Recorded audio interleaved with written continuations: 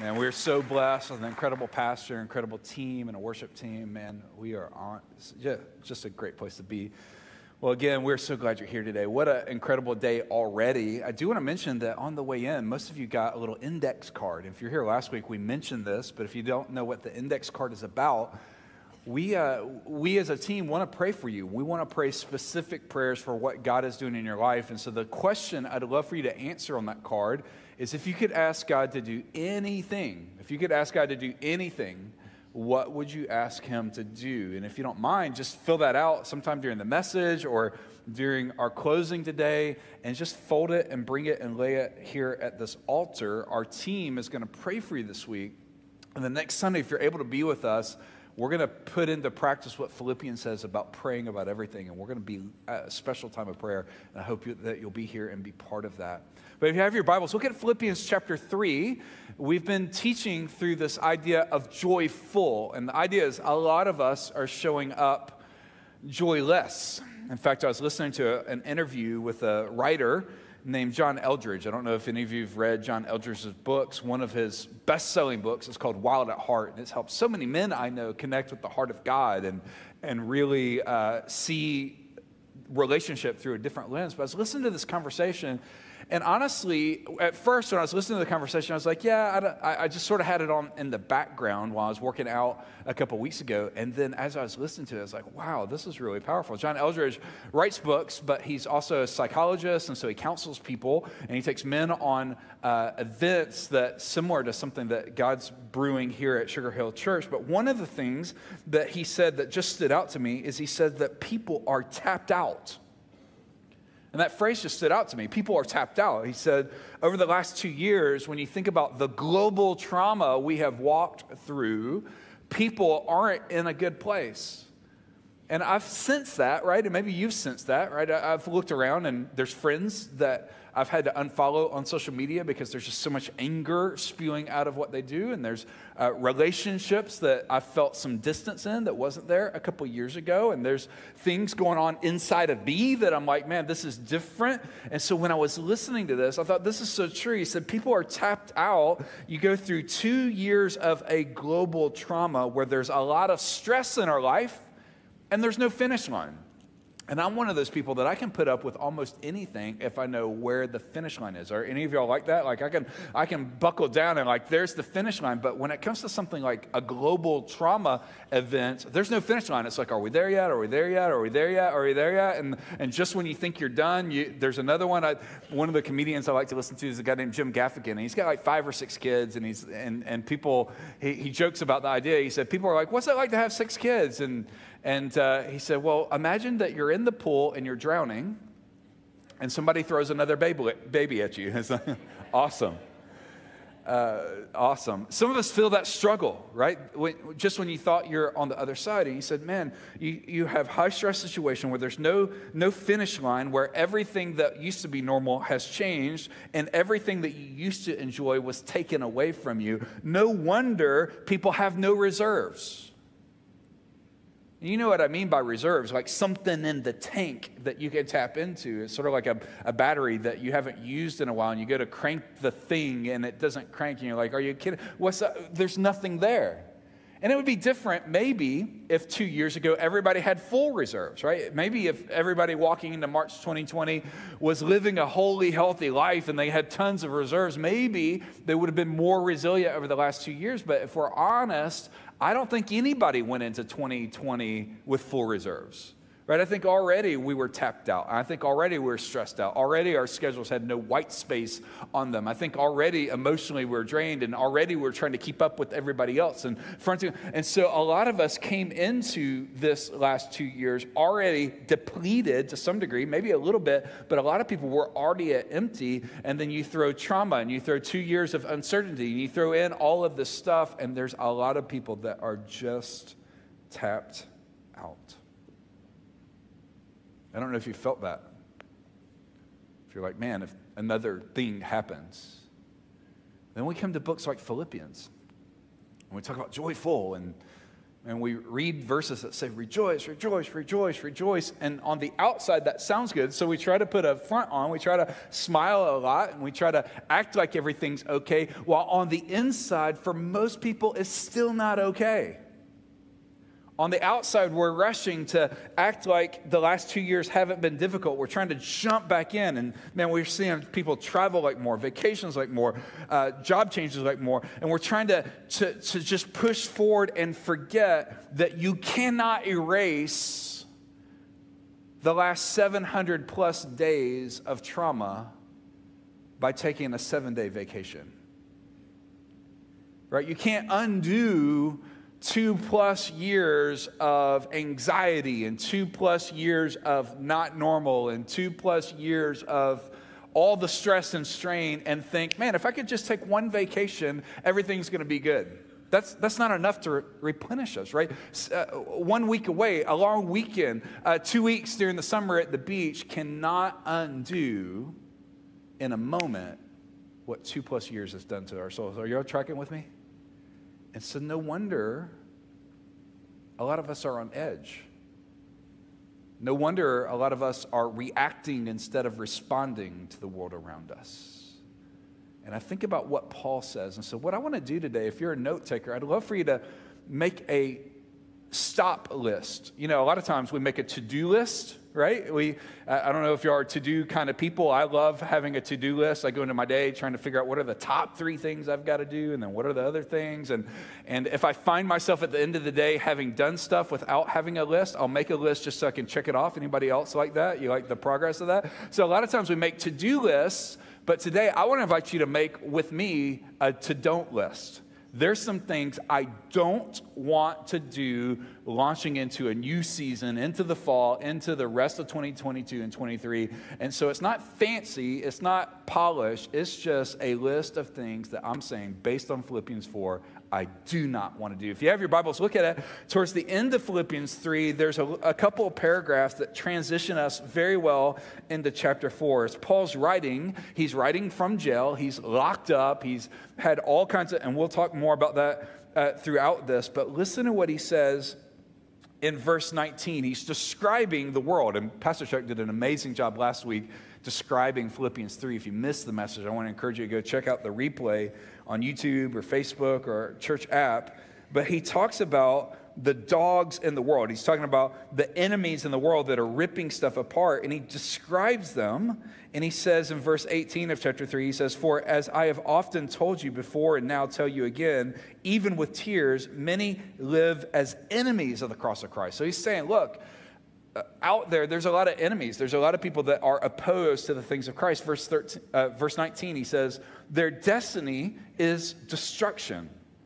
Their God is their stomach, and their glory is their shame, and their mind is set on earthly things. And so he's describing people that are just living from the lust of life, living from their own desires, living for themselves, really.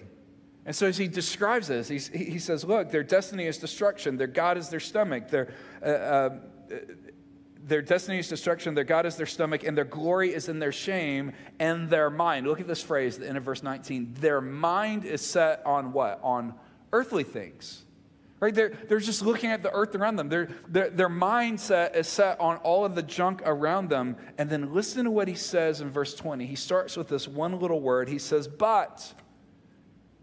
He's making a distinction.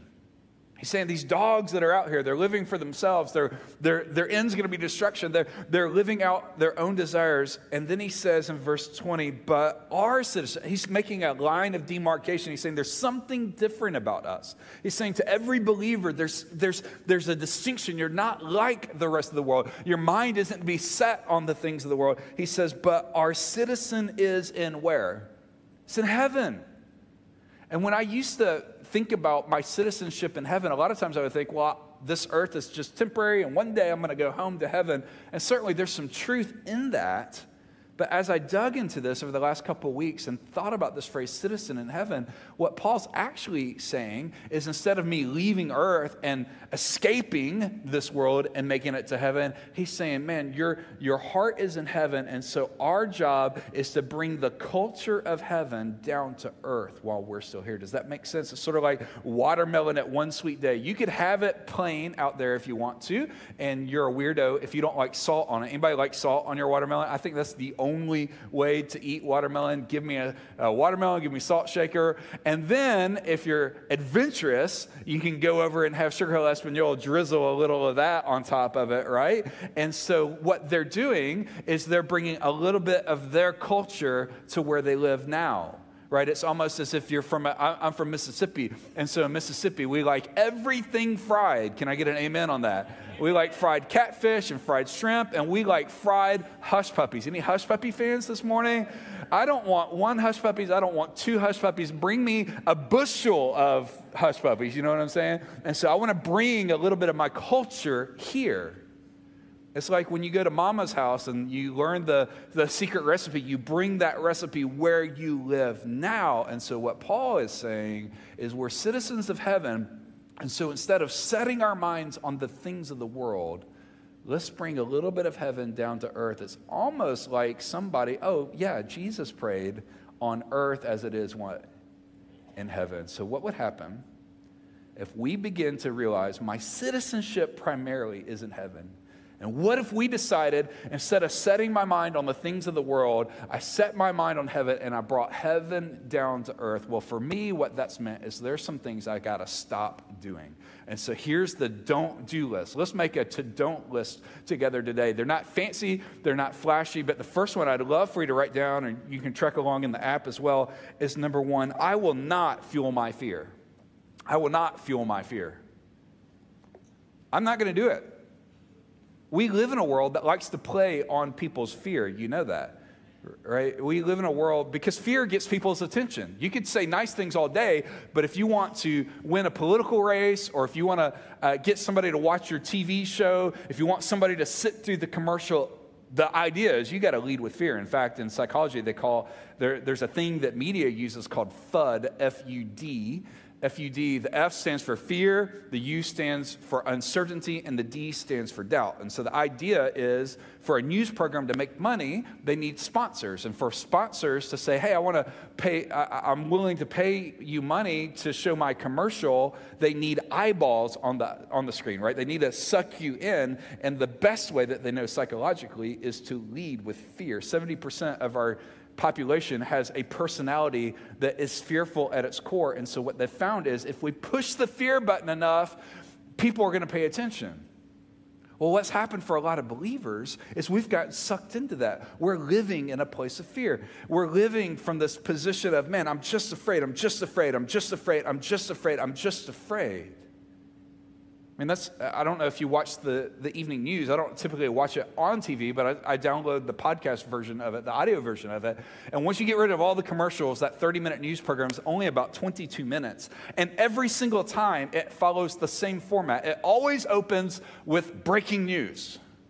I don't even know what the definition of breaking news is, right? Because some days there really is a, a global thing going on. A, a, lot of times they're just making something up, right? Breaking news, breaking news. And then they list sort of the headlines, and all the headlines tease you. They don't tell you what the actual end result is. They're like, um, and then I, I I can't do it off the spot, but you know what I'm saying? They lead with just sort of the teaser, and then you watch out of 22 minutes, you watch 19 minutes of fear, uncertainty, doubt. Fear, uncertainty, doubt. Everything's falling apart. Uncertainty, we don't know what the future's going to be. Doubt, maybe it's not going to work out. Fear, hey, your life is falling apart. The economy's sinking. Uh, things are getting worse, worse, worse. Uncertainty, I don't know what tomorrow. Doubt, doubt, doubt, doubt. And then the last one minute to two minutes, they have some happy little story at the end. And right, I, I pay attention. Right, the next time you do it, it's, it's such a predictable formula. And what the danger of that is is that if we're not careful, we'll allow all of these inputs into our life that fuel our fear. And what I've found, at least in my own life, is usually the thing I fear the most is like an indicator of where I'm trusting God the least. If you're a believer, the creator of the universe rescued you. I mean, that's why we sing about reckless love. It's not, it's not like God is, you know, come unhinged. It's that God loves you so much that when God loves, he gives his son. And so God leaves heaven and he comes to this earth and he makes it possible for us to have a relationship with him, to have our sins forgiven, to have the peace of God in our life. Why would we follow the Prince of Peace? Why would we say, God, I want the God of peace to step into my heart and then fill my ears, my eyes, my mind with everything that is opposite of peace? And so I don't know about you, but for me, on my to don't list is I don't want to fuel my fear. Could Paul have lived in fear? Absolutely. Paul was locked up in jail. He was in Rome. I don't know if any of y'all have been to Rome, but you can visit what's believed to be the jail cell. It's really a dungeon. Unfortunately, it was under renovations or something when we visited several years ago, so we didn't get to go into the Mamertine prison, but you can see it. You can see the sign. It's uh, there by the forum. And so Paul's in jail. His, his situation honestly was 100 times worse than anything I've ever lived through. Uh, the politics of his day were crazy. Uh, they, they, uh, the sexuality of his day was out of control. Uh, the human sacrifices that were going on, Christians being hated, the gladiators, you know, people watching gladiators die for sport. I mean, Paul could have focused on everything that was wrong, but listen to what he says in chapter 4, verse 4. He says, Rejoice. What's interesting is after the resurrection of Jesus, there's not one negative thing mentioned in the New Testament. Were there negative things in the environment around them? Absolutely. Was there a lot of junk that could have gotten Paul's attention? Absolutely. But instead, he said, Rejoice in the Lord always. Again, I say rejoice. And so we get to decide what we're not going to do. And I'm saying, I want to invite you to consider number one, I will not fuel my fear. What does that mean? There's some things I don't watch anymore because I found myself being fearful. There's honestly some relationships I've had to step back from because every time I was in around those relationships, I walked around feeling sort of grimy, or I, I couldn't put my finger on it. Right? I, I, you know, I'm not uh, talking about writing people off, but I'm saying if there's a, if there's a conversation that always pushes your buttons, if there's a show that's always causing you to live in fear, if there's something that's overriding rejoicing in the Lord, maybe that's a thing that you want to put on the list. Maybe for me, number one, I will not fuel my fear. Number two, if you're up for saying there's some things we're not going to do, if you're up for quitting some things this week, not only would I say I will not fuel my fear, but number two, I will not flirt with quitting. I'll not flirt with quitting. One of the temptations, I think, for anybody, and it's understandable, I'm not beating anybody up today. I'm saying, man, I'm, I'm part of this message, I'm living this out, is to say, I, I will not quit. Paul says in verse 1, he says, Therefore, my brothers and sisters, you whom I love and long for, my joy and my crown. Here's his encouragement. He says, Do you see this phrase? Stand firm in the Lord. Stand firm in the Lord. Paul has figured out how to live with resiliency. Paul's resolute. When I think of stand firm, he's like firmly planted. Last night we went to the Josh Groban concert down at Chastain Park. I lost my man card when I went, but he lifts me up. Anyway, so um, a lot of y'all, I asked for tips on Facebook about Chastain Park, and people kept saying don't. we, lo- I, I, don't know. I'd, I'd love to know, am I missing something? But we went, and uh, everybody's dressed up all fancy. And there's this girl that had on these huge wedges, and I'm watching her walk behind her man down the steps holding onto his shoulder. I was like, all right, fashion over function, right? You know, she couldn't stand firm. There's something about standing firm. There's something about saying, I'm going to stick with it. And so Paul is living resolutely. Paul is living with courage. If you're here last week for chapter three, as Pastor walked through chapter three, uh, Paul almost has this sense of, hey, we're part of the army, right? We're, we're military. Hey, stand firm, stand firm, stand firm. Uh, uh, don't quit. Don't quit. This interview I was listening to with John Eldredge is where I got that idea that seven days at the beach cannot erase 700 plus days of trauma. There, he didn't say it exactly like that, but there's something that, that made me think about that. And one of the things that the inter- interviewer, a friend of mine, Carey Nieuwhof, said in it, uh, he said that, um, that the answer to an unsustainable pace is not a vacation, right? A vacation will not fix an unsustainable pace, the answer to an unsustainable pace is to figure out an actual sustainable pace. And one of the signs that we're living on empty is when we are tempted to quit.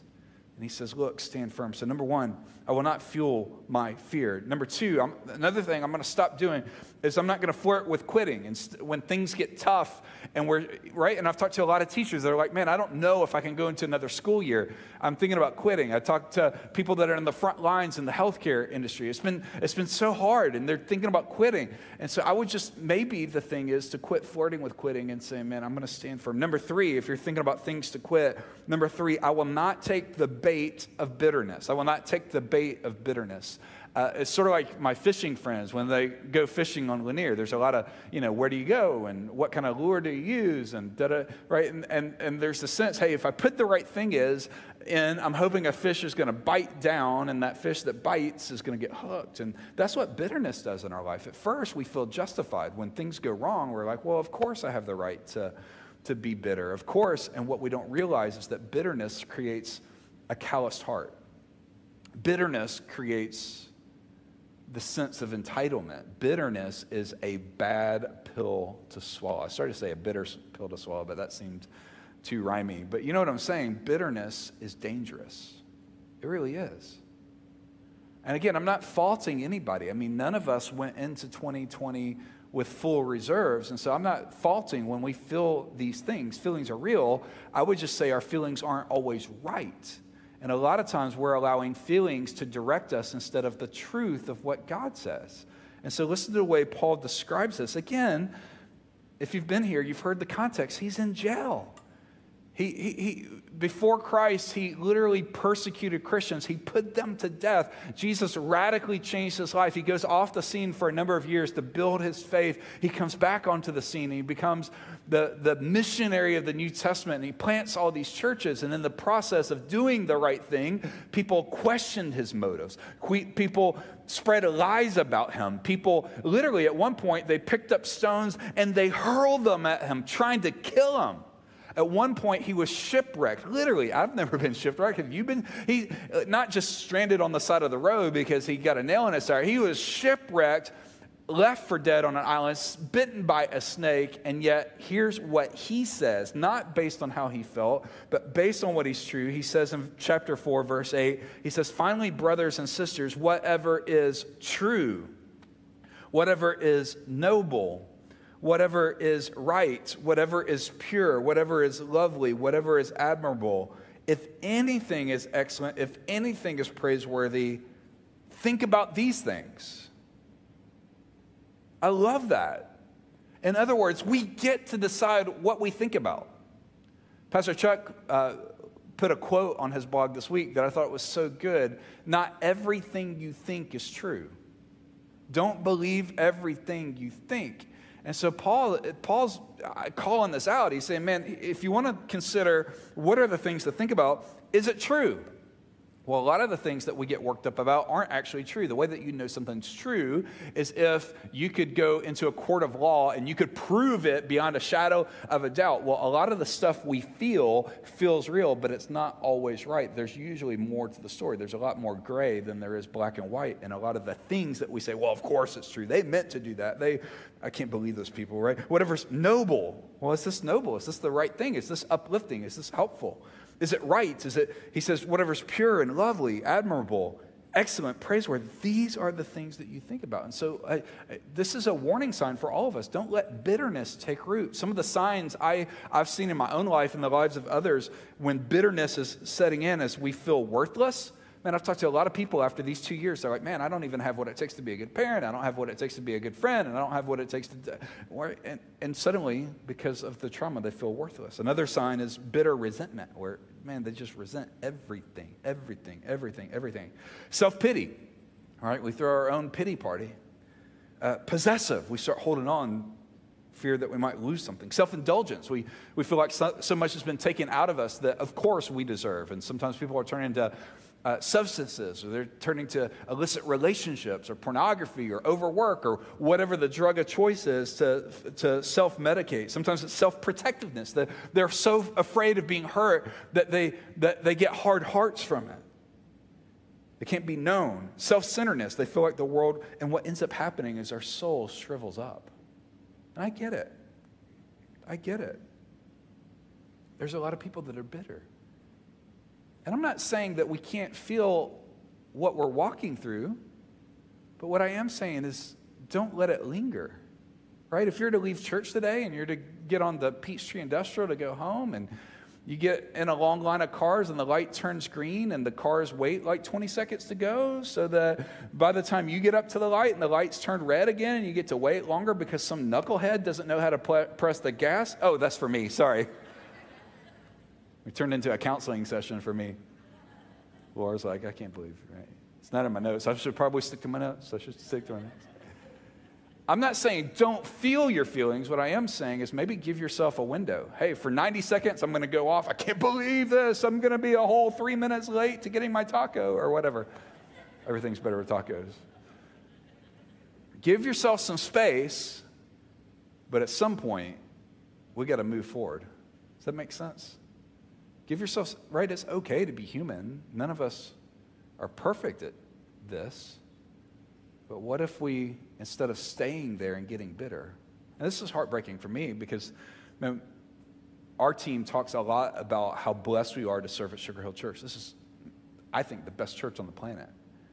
I talk to a lot of pastors based on my past of traveling and speaking and just the places that God's put me over the years. I've got a lot of friends that are at other churches that are off, they're really hard. And there's a stat, last I heard, that 41% of pastors, people in ministry, not just the lead pastor, but people in ministry, are considering walking away from the ministry because of how hard the season's been. And I've talked to pastors that have gotten bitter. And Jay, again, I'm so grateful. This has been a, this is such a wonderful place to serve, but there's a lot of pastors that are walking away. And, and I think about in healthcare, there's people walking away. I think about our, our teachers, they're walking away. And I would just encourage you don't let bitterness take root. Don't let bitterness take root. And I, I'm not saying that's easy, I'm just saying don't take the bait. Number four, if you're making a don't not to do list, number four, I will not cave to compromise. I will not cave to compromise. A lot of times when seasons are tough, it's tempting to compromise. Paul says this in verse 11. He says, I'm not saying this because I'm in need. And so there's a lot of context here. I would encourage you to keep reading through the book of Philippians. But he says, I'm not writing you this because I'm in need. And then listen to what he says in verse 11. For I've learned to be content. Do you see that word content? Up until recently, anytime I thought about content, I equated contentment with settling, which in our world, you know, in, in the American way of up and to the right, settling is a bad thing. But actually, there's a good form of contentment. It's not laziness, it's not dropping your guard, it's not lack of ambition or drive. It's learning that our contentment doesn't come in stuff. Like for Paul, it's not his paycheck. For Paul, it's not his prison cell or a penthouse. For Paul, it's not do I have a lot of friends or no friends. Paul was so single focused on Jesus. Or he said, This one thing I do, right, over and over again through all of his writings. At some point, his eyes got off of stuff and he realized, I don't want to follow God just for stuff. I want to follow God because of who He is. There came a moment where he quit looking at God's hands. God, what can you give me, give me, give me? That he began to trust the heart of God. And he's like, God, I'm so committed to your heart that whatever situation you put me in, I'm going to look and figure out how can I see that as a way to point people to you. And so as he describes this, he says, I've learned what it is to be content, whether, uh, whatever the circumstances. Verse 12, he says, I know what it is to be in need. And I know what it is to have plenty. And I have learned the secret of being content in any and every situation, whether well fed or hungry, whether living uh, in plenty or in want. He's like, Look, I've, I've had it all. Man, I, I used to be the center of attention before conversion. I used to be this guy that was great at being bad. I used to do all of this stuff. I've, I've had plenty. There's been times where I've lived in luxury and comfort, and I've had all, everything that I ever wanted. I've also been in moments where I'm in jail and I don't have what I need. He says, But I've learned to be content. And he says this in verse 13 I can do all this through him who gives me strength. For Paul His contentment wasn't stuff, it was a relationship with Jesus. And I get it. When I teach, I teach with lists, and I've got a list today, but I just acknowledge that the solution to contentment and to filling our reserves isn't making another to do list. Maybe it's part of the to don't list is to don't schedule my life away so that I have no time to actually sit with Jesus. We live in a world that is attacking our attention. And one of the best solutions is to just sit and be present with Jesus. And that's against my wiring. My wiring is here's what I need to do. Do, do, do, do, do, do. I need to sleep more. I need to exercise more. I need to eat right. I need to do, do, do. What if I need to stop and just be? Because it's a relationship. It's not about more head knowledge. It's not more about, do I have this all figured? It's a relationship. In fact, I would encourage you, John Eldredge is the guy that I've been referencing in this interview. A couple years ago, he wrote sort of a book that was about, you know, creating emotional space in your life, and they released a free app called the One Minute Pause, the One Minute Pause. And it's an absolutely free app and within it, this year, they released a 30 days to resiliency thing. And so it's like 10 minutes in the morning, 10 minutes at night.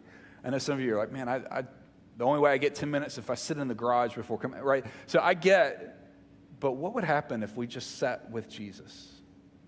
I will not cave to compromise. The last thing, number five, number five, I will not be short sighted. I will not be short sighted. I will not be short sighted. What I mean by that is because something is true now does not mean that it's true forever.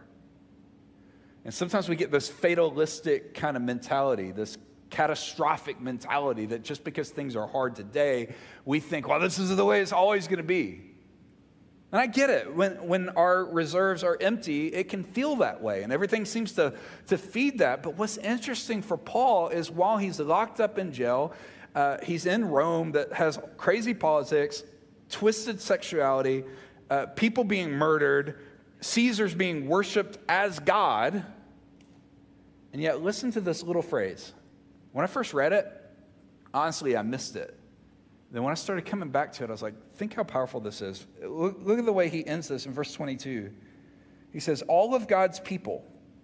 So he's writing this letter to other Christians, and he's like, hey, all, all the believers here, that are with me, all God's people here send you greetings. Right? That's, that's a polite thing to do. It's like when you're hanging out with friends, they're like, hey, when you see your mama, tell, tell her I said hello, right? That's what we do in the South. How's your mama and them, right? And uh, I thought that'd be funny. It wasn't awesome. Um, hey, tell him I said hello. Tell him. So Paul's doing that. He's like, all the Christians here say hello. And then I started thinking about, well, where is he? Well, he's in a pagan city that worships false gods. Where is he when he says all the Christians here say hello? He's locked up in a jail cell. Where is he? He's in Caesar's rule. Caesar, who many of their day worshiped as God. And listen to what he says all of God's people here in jail, where I'm locked up in Rome, in the middle of this pagan society that has the Pantheon just across the street and all of this false worship going on. He says, All the people here, especially those who belong to Caesar's household. In other words, even in a dark dungeon, even locked up in jail, even when things seemed to be falling apart, the light of the gospel was penetrating the household of Caesar himself. And I guess the reminder for me, I don't know if that resonates, I don't know if that clicks with you, but even in the darkest moments, the light of God can still shine through. And so when we are in that fatalistic mentality of, well, the world world's falling apart and this relationship is dissolved and nothing's ever going to be, look how bad the world is out there. Even in the middle of darkness, God has the amazing ability to reach into the middle of the darkest moment and pull out something good. If Caesar's household can get saved by a guy in jail, God can do anything. God can do anything. And so today, I again, this isn't fancy, this isn't polished. But my hope is it's super practical to say there's some things that we can stop doing. You've got the power of choice. I've got the power of choice. We get to decide what we think about. We get to decide am I going to fuel my fear or am I going to live by faith? We get to decide am I going to let bitterness be the thing that defines me or am I going to say, God, even when things are hard, I'm still going to stay thank- thankful and grateful? That when we're tempted to quit, we say, I'm going to quit the things God tells me to, but if God hasn't told me to, I'm going to stand firm. I'm going to stand firm. I'm going to think about things that are noble and peaceful and right. And I'm going to learn that even when things aren't great, it doesn't mean that God's not at work. I'll close with this, and then I've asked the team to lead us before we head out. Um, years ago, I spoke at a school, and sometime I'll, I'll, sometimes I'll get invited to do like a drug or alcohol free kind of talk or sometimes a leadership kind of stuff. And I love doing it. But I was at the school years ago, and they had sort of a mural on one of the hallways. And I tried to find the source of it. It's like this Native American little poem. It's not very long. But as I was trying to research it, everything just came back unknown. unknown.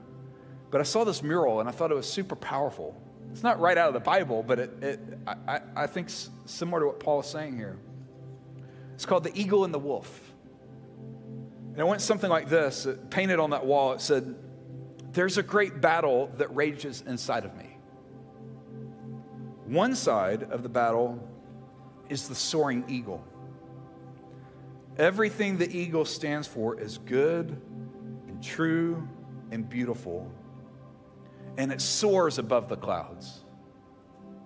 And even though it dips down into the valleys, it lays its eggs on the mountaintops.